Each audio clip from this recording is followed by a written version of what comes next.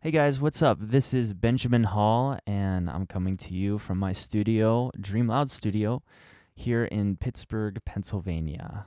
And I wanted to make a video today, basically show you, showing you what I did to get my snare drum sound on the last Nail the Mix, which was The Contortionist. The song was Return to Earth off of their latest album. And uh, you guys might know or you might not know, but I came in second place on the top 20 poll uh, this past month on that song, which I was super stoked about. Uh, I came in second place to a great mixer, uh, name of which is Matisse Clavinius. I think I'm pronouncing it right. Forgive me, Matisse, if I'm pronouncing it wrong. But man, he made a killer mix and deserved 100% to get first place. So congrats to you, man.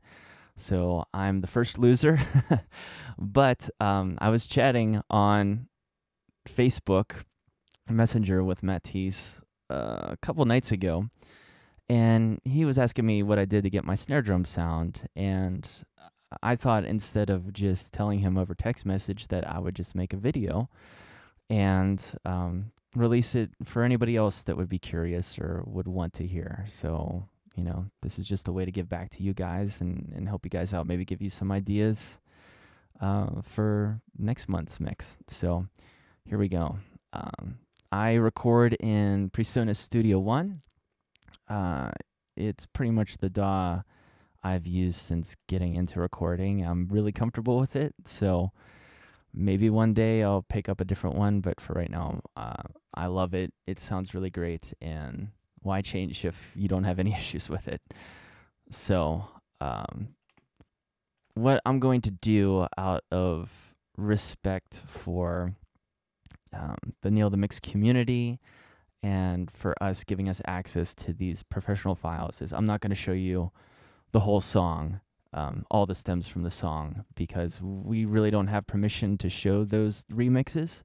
So all I'm going to do is show you my drum mix for context and then this the snare drum sound. Uh, so I really appreciate what Nail the Mix has done, giving us access to this great edu- educational resource. And the last thing I want to do would be ruin that for everybody else by uh, breaching the guidelines that they've given us. So that's why I'm only going to show you the drum sounds. So let's dive right in and take a listen to just the overall drum sound in the chorus.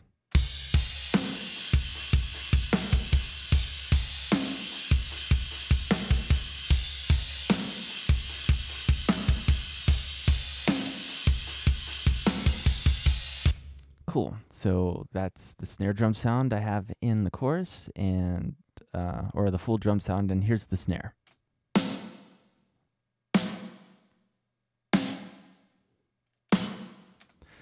Okay, cool. So now I'm going to dive in, uh, take off all of these plugins, and show you what the raw track sounds like. Okay, we're soloing the snare bus. Okay, so here's the snare top and the snare bottom mic. And the first thing you might notice is I've got this gain plugin on. And basically what I do is uh, I think Nolly showed us this way back in, I think this was maybe September's, October's Nail the Mix of last year. And he likes to use the gain plugin in Logic uh, and puts them on all his tracks. So basically, he adjusts the gain using that instead of the faders. And I prefer to start that way too. Um, start from a fader zero position. It just gets less confusing if you're using a lot of automation. You know where your mix balance point is. So uh, that's the reason why I have that mix tool plugin, which is a gain plugin on every single track. Uh, the other reason is it also has a nice handy invert phase feature. And if you didn't realize this about um, the snare tracks for the contortionist nail the mix, it might be why you were having a really hard time getting the low end to come out in your snare drum because those top and bottom mics are out of phase. So you have to flip the phase on one of them. So let's take a listen. Let's take a listen to the top and bottom mic together with that phase invert tool off. Okay, now I'm to click that on for the bottom mic.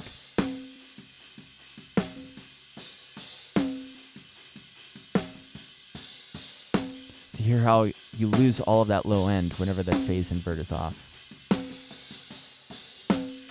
And when I actually started mixing this month, I forgot to check the phase on the snare, and I was adding so much low end to my snare, and I could not get the low end to come out. And that's what gave me the clue. Oh, maybe I should check the phase, and that was the issue. So that's something to keep an eye out for. Um, you should definitely check that on uh, any track that you get in that's mic'd with multiple mics. So, all right, let's move on. I funnel I funnel all of my drums into a drum bus, and my snare goes into a snare bus. So that's where I have all my plugins. Um, as you can hear from that snare drum track, there's a lot of high end bleeding in to that top mic. So I decided to add a gate first, and this is just the gate that comes with Studio One. It's the stock plugin.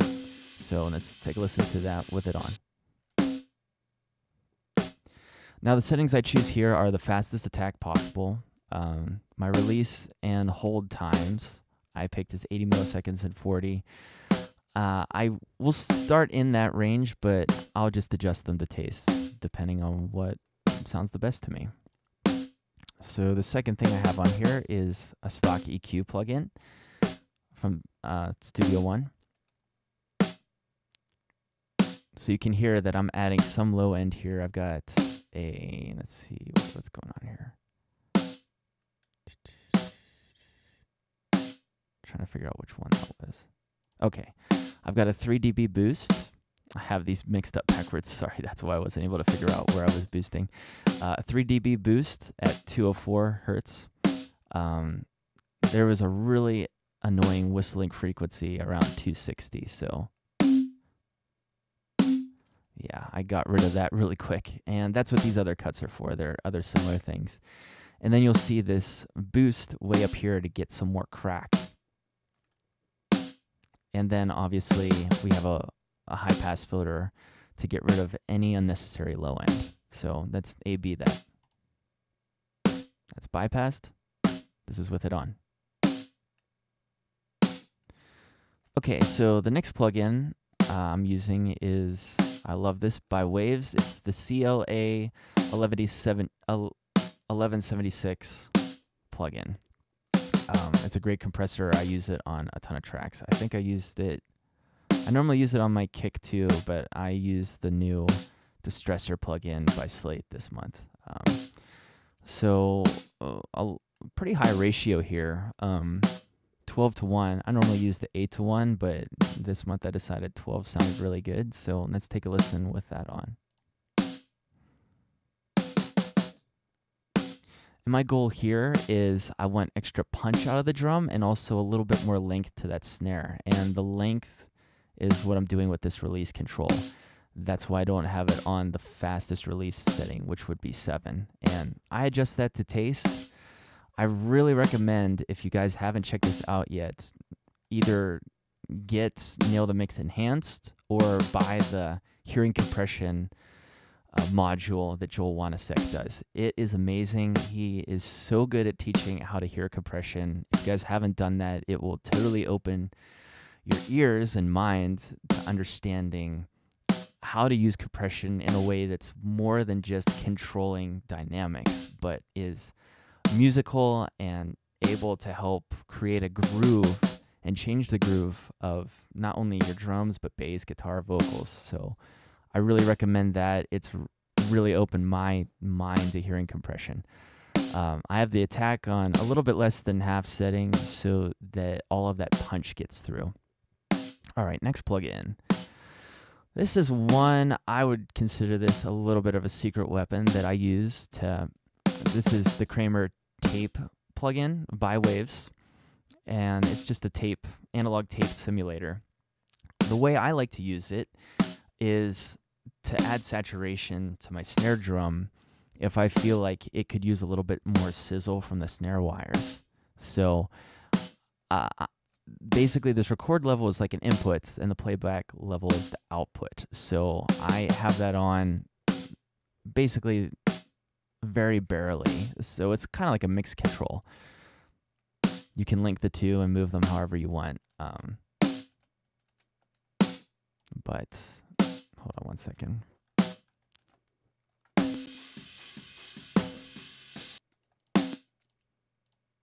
Sorry about that.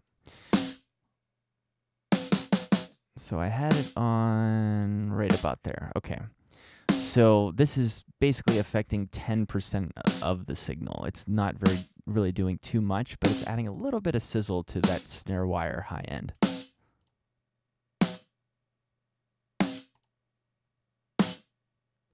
The other thing that this plugin will do, if you add a lot of it, it will really kill your transients. So um, I'm very subtle about using this.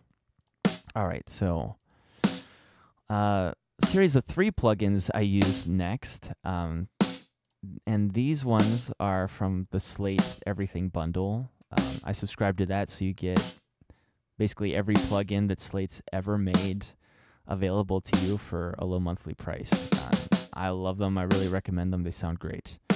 Uh, the first plugin I use is their SSL style plugin, um, EQ. And so you can see I'm adding at above 7.5 kilohertz, a little bit of sizzle, two, two, decibel, uh, two decibels. Uh, a little bit more crack, so around 3.32 kilohertz. I'm adding another two and a half decibels to that a little bit of a low mid cut around 260 and if you remember from my other stock EQ that's where that really annoying um, frequency was. So I'm just cutting a little bit more uh, 1.4 decibel cut. And then very last uh, I set this to bell mode um, and this is 203 hertz. I added a whole 5 decibel of low end so let's take a listen with that on yeah, just to really get that punch out of the low end of the snare. Uh, this is a really cool plugin. It's basically a harmonic saturator, and the shimmer is the high end, thickness is the low end. So let's take a listen with that on. Just adds, uh, the thickness adds a little bit more punch to the low end, and that sizzle just makes that high end crack. And then the trimmer plugin, I added another decibel of gain, I think probably to make up for uh, the Kramer tape, uh, which is padding uh, the transient a little bit. All right, the very last plugin I had on here, which I've never done this before, but I put the L3 limiter on my snare. And the reason I did this was because I felt like some of the hits weren't consistent at some parts, and that snare was just poking through a little bit more than in other parts. So the way that I set this up is so it barely catches those hits that are louder than that average volume that I want. And it's I'm trying my best to not affect the tone of the drum, but just tame anything that might be a little bit too loud and and poke out and be annoying. So cool. Um, now, since I put that gate on, I really needed a lot more, I guess, reverb to make up for that length of the snare that I'm cutting out with the gate. So I used another plugin that you get with the Slate Everything bundle. It's my snare uh, snare reverb, which I use the Verb Suite Classics. Uh, I started with their preset um, wide snare plate. And I might have done a, a, little bit of adjusting to all of these, but basically the way this is set up is this is an FX send, and I'm just sending uh, the signal to this um, snare reverb, and then I can mix it in based on how much I think it needs in the mix. And I'll just do it to taste I felt like it sounded really good there. So awesome. I also have a drum reverb on too. Uh, I'll go through my drum bus really quickly because that is affecting the sound of the snare. So once again, I've got this CLA 76 plugin on my drum bus, uh, but I have the settings a little bit different. Only a 4 to 1 ratio. The release is a lot faster and the attack a lot faster. So I'm using this to, this is more to average out all the hits. I guess work as a bus glue type of thing. Um, I have the SSL style EQ on the whole drum bus again, and just a little bit more high end and low end. But the biggest move I'm doing is a three decibel cut at 462, uh, just to get rid of some of that mid range, ugly mid range and their boxiness. And I have another drum reverb. I have that on a lot more subtly. Let's take a look at that though. Uh, so I'm using the warm drum space and once again, very subtle. Oh, one other thing I forgot to mention. So on my snare reverb, let me solo the verb real quick to show you that. So I actually EQ'd my reverb because I felt like it was a little bit boxy and I wanted to get rid of that. Sweet. So there you go. Um,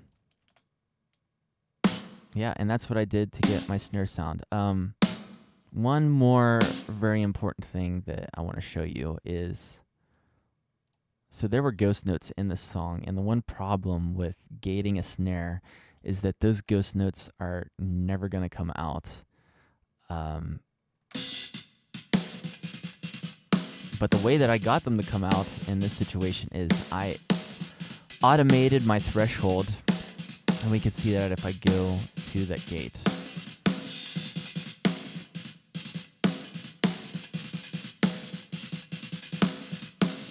Here, I'll go. I'll go a little bit before this, and uh, you could see. Um, I have the gate set to open at negative 23 decibels on every other part of the song. And then whenever we hit this ghost note part, this is basically the threshold open. I have it come a lot farther down to allow those ghost notes to come through. Uh, it's really hard to hear in the mix in general, but it, it those ghost notes do add a feel, and you don't want to cut them out um, because, especially with a drummer this good, it adds so much groove to the song. So that's done with automation. Um, and let's take one more listen to the full drum mix.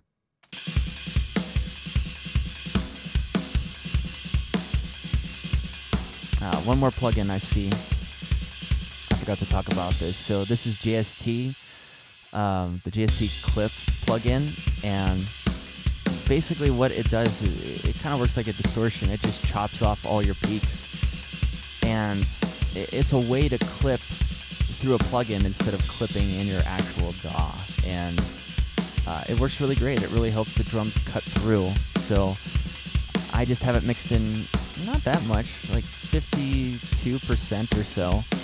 It's just a little bit a little bit extra there to help cut through the rest of the mix. It's a really busy mix. There's a lot going on. So guys, I hope this was really helpful. I know I can be long-winded, um, but that's how I got my snare sound on Nail the Mix. Uh, I want to just really quickly encourage you guys to. Um, I've been a part of Nail the Mix for it's been about a year now, really close to a year. And the very first month, um, the very first month that I joined, it was the month after Periphery. I forget the name. Uh, it was State Champs, uh, right back at it again. And I had no idea what I was doing mixing. Um, I had I'd been mixing for maybe a year or two, uh, really putting a lot of time into it, but I, I had no idea what I was doing. I was just going along by what I learned. And I just happened to do really well on that mix, and I got in the top 20 that first month, and I was super stoked.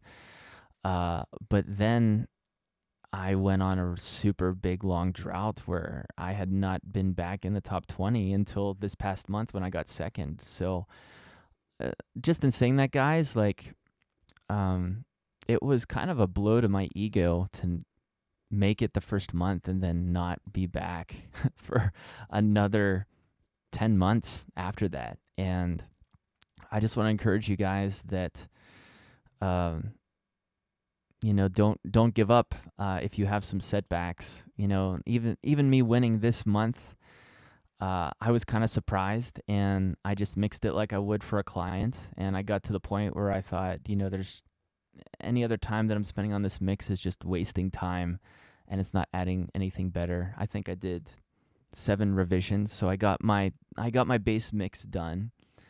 Uh, my balances all figured out, and then I just kept going and referencing them in different speakers out in my car and my headphones, earbuds. And I would just listen for anything that sounded an- annoying to me. And then I'd go back in and make very tiny adjustments. I wasn't doing anything drastic. So, uh, and I just did the best I could, but I tried to mix quickly and not overthink anything. And, you know, uh, I just happened to submit and be really lucky this month and win. So, it's great to win, but um, you know, just keep at it every day, and I know you guys can get there too. So, um, I hope this has been encouraging to you all. I hope you learned something. Please leave a comment, and um, you know, Rocket guys, nail that mix.